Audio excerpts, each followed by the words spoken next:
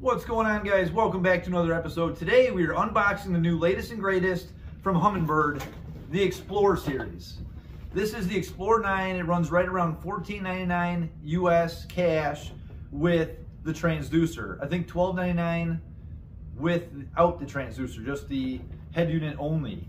This is compatible with the new Mega Live 2 and networks with Solix and Apex units with the new 5.060 update uh, firmware. Uh, I'm really excited, guys. I got the Mega Live 2 coming. We're gonna start this baby up, unbox it, and check this thing out. All right, inside the box, we have the new cover. The rubber cover has a new design. You can see it's a lot different than my Solix unit back here. One thing I noticed right away, guys, is the weight of this unit is pretty heavy.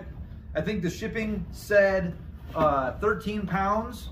I know that comes with a transducer in this box, but this unit may be a little heavier than the Helix units that it's replacing.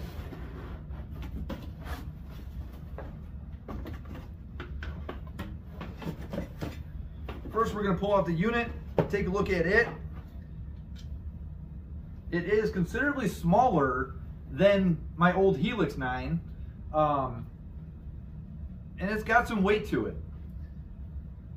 Very cool. You can see the back of it here, guys. It's got some cooling fins back here. This is a, a quad 4 processor, so the speed is very fast. See what we have in this other big box here, probably the transducer.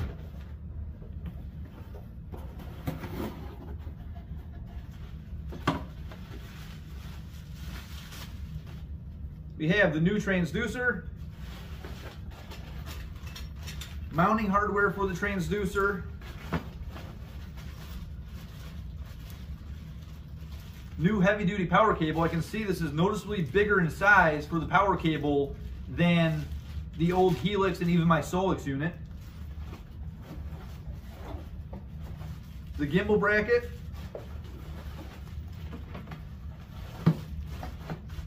and the Explorer instruction manuals. We're gonna get this thing un unpackaged and we're gonna get it up on my HD Innovations uh, ice shuttle up there and we're gonna get this baby turned on and have you guys get a glance at it. All right guys, one thing I wanna talk about before we get this unit powered on is the power cable is enormous. The power cable almost weighs as much as the unit. It's very thick. You can see my my Solix cable right here is the you know the average size that the Helix was as well. You can see that these two power cables together is twice the size. It also has three wires inside of it. It has a shield wire that is also going to be going that's going to be shielded to your boat, your ground under your chassis, your boat, wherever your boat is grounded to. Or in this situation, inside this HD Innovation shuttle, we're going to route this shield wire into our ground terminal as well, so it's grounded to the battery. All right, guys, got the unit all wired up. It has a gray silicone cover now. It's really low profile. Uh, it's gray and white now instead of the black and white. Um, it's really low profile. I'm not sure how well it's going to be trailered. Uh, it seems like it comes off really easy. It's very nice. It's really low profile.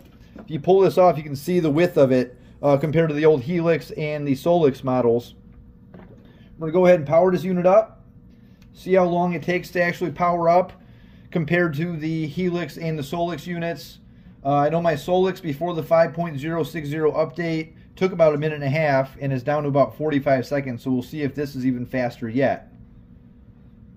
Brand new interface, cross, uh, cross touch screen with the keypad. Uh, it's going to be really nice compared to the old Helixes without the touch screen. Uh, it also comes with a Coastmaster card included that's already inserted in here, which is going to give you most all the maps uh, for your lakes throughout the U.S. Starting up right now.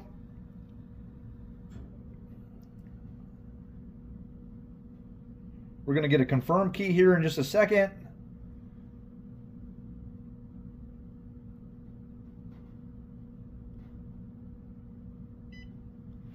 Hit confirm and we should be good to go. Starts up pretty fast. I'd say 30, 40 seconds. Pretty similar to my Solix now after that new update. Uh, we have a home key up here, top left.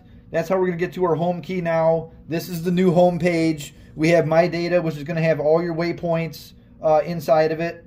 There's an exit button up here to get out of any screen you get into. These are your favorites. Uh, I'm going to be doing a tutorial next week on how to create favorites. Uh, our One Boat Network here. Um, we can set it up to our phone right here. Go through those tabs. Um, our favorites keys right here. Our views. We got chart. We could they have all different types of views already created. Our tools.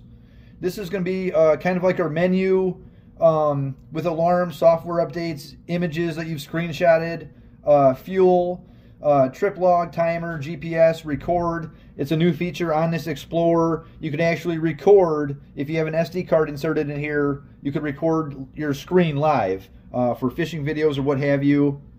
Um, should be another screen here. No.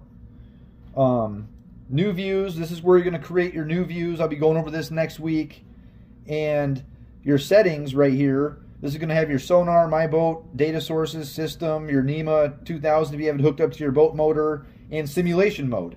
This is something really cool here, guys.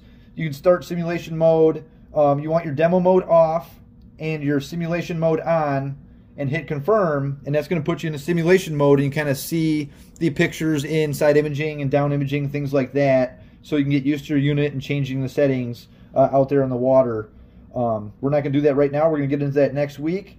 Um, let's just go over here to views, go to side imaging right here. Your menu now in this is going to be this three little bar up here. And that is going to give you your sensitivity and all that, which it also has uh, new on this unit is your quick sensitivity up and down and your, your range uh, right here. Um, go down here to settings. This is going to give you the rest of your uh, settings here for that side imaging. No matter which screen you're in, 2D or down imaging, your settings for that is going to be right here now. So it looks really cool, guys. Uh, something something really new. Uh, nice clear picture. Um, looks really good. Very fast with the touch screen. And uh, all right, guys, quick little unboxing video here uh, with you know the startup of this unit. Next week we're going to get into a full tutorial on how to navigate around this unit, uh, what all these keys do, how to set up some new views, stuff like that. So uh, please like and subscribe, guys. Stay tuned for the next one. Leave a comment down below if you have any questions, and uh, I'll be sure to answer them. So stick with us, guys. We'll get to you with a full tutorial next week.